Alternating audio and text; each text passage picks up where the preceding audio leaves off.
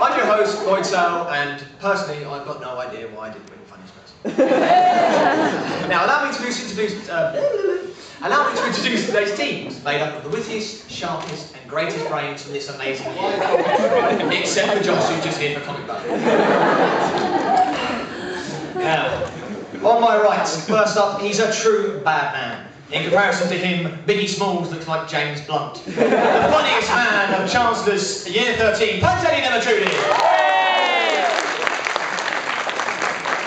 Alongside him is a man who, well, oh, who am I kidding? I don't actually know if it's a man or a woman. It's Dom Hibbert.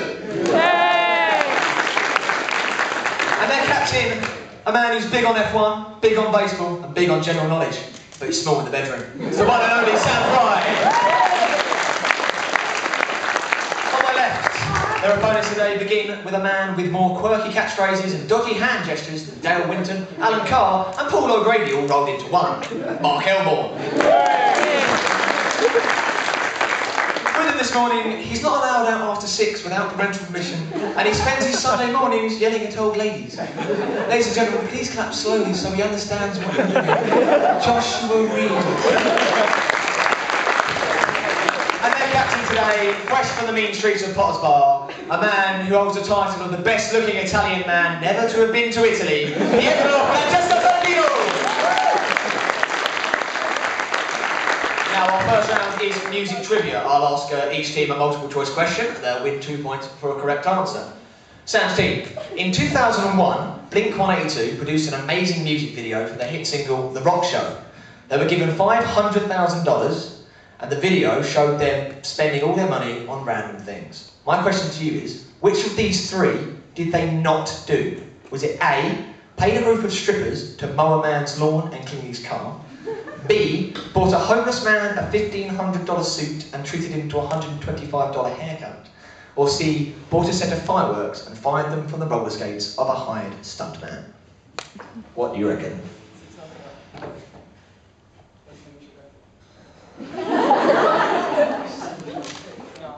Not, not big fan?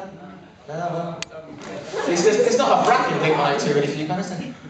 Uh, did people like Link ever combine with Tupac? No? well, I picked a good test, didn't I? I picked a good test. We're going to go for it, say.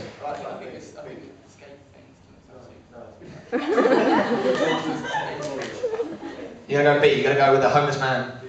That is the wrong answer. It was actually C, they fired a set of fireworks from a homeless man's gate. All four members of Blink-182 have admitted to having odd collections.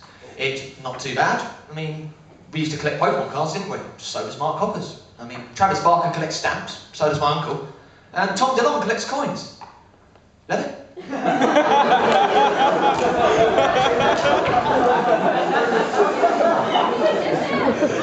and metal. But metal, you're right. Oh, Blink 182 have had four double platinum albums and 20 top 40 singles, with titles such as Damn It, Man Overboard, What Went Wrong, Does My Breath Smell, and Please Take Me Home.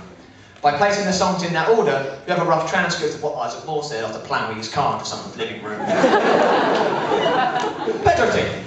In the 90s, Blur were all the rage in the Britpop generation. But why did they begin 1992 £60,000 in debt? Was it A, their manager changed the details of their music deal, so all the money went to him? B, Bassist Alex James lost all their money in a hand of poker against Liam Gallagher? Or was it C, the band went on a mental shopping spree after their first album went gold, buying obnoxious luxuries such as a £4,000 shovel? I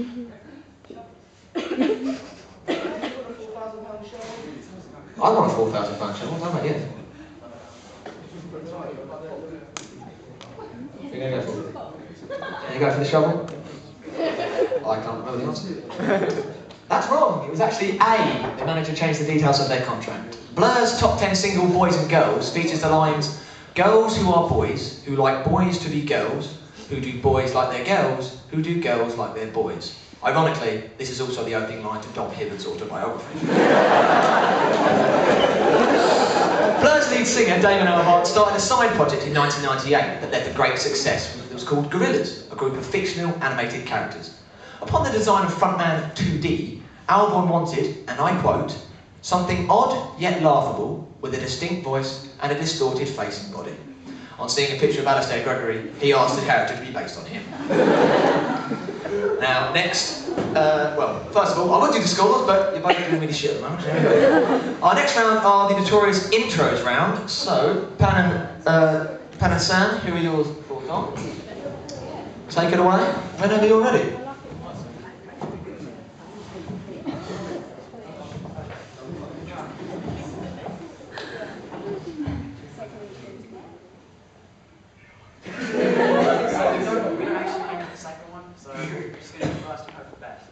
Okay, that, that's good enough.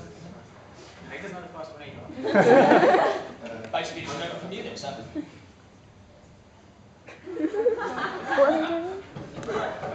Uh, ready? What are you doing? Basically, give it away. Dun, dun, dun, dun, dun, dun, dun, dun, dun, dun, dun, dun, dun, dun, dun, dun, dun. It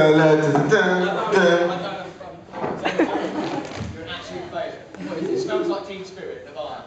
How is that? That is that a microphone?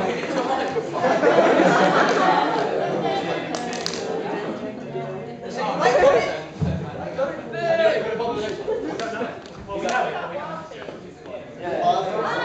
it! ように。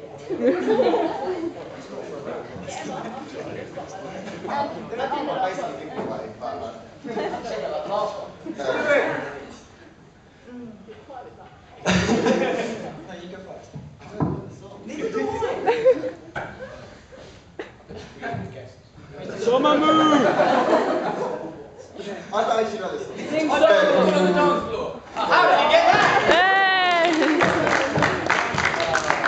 12 out of that. They managed to get one point, but there you go. Nirvana's lead singer Kurt Cobain ended his life in 1994 after a crazy, drug-fueled 27 years on this planet. He took a shotgun and brutally blew his brains out. We can only hope that Sami Hussein does the same. I'd like to say I was joking, but... we also didn't hear eh, the Arctic Monkeys, who burst onto the scene four years ago, but the hype has now died away, as many people have come to terms with their loud, cringe-worthy noises. The same is now apparent with Rory Craig. now, you two, those are your for JR. Have fun with this. Microphone, Mark, take the microphone, Mark. Mark,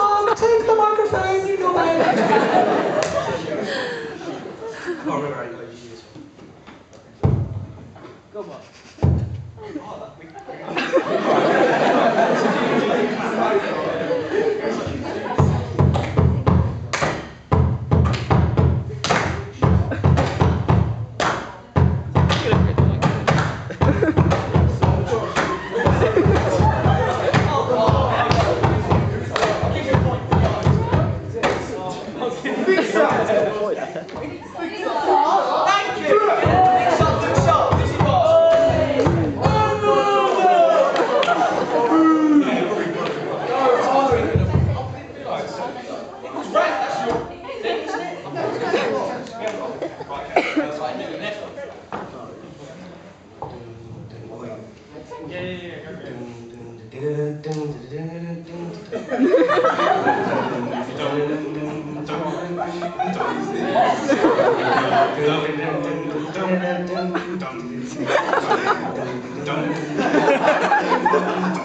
else? Anything? Oh, I these actions as well, like uh, guitar. I'm just guitaring. That's reading of it. Yeah. Did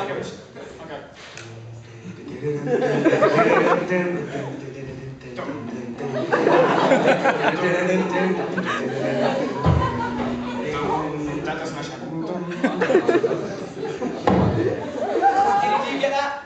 All. No, that was actually wonderful, by the way. that was a uh.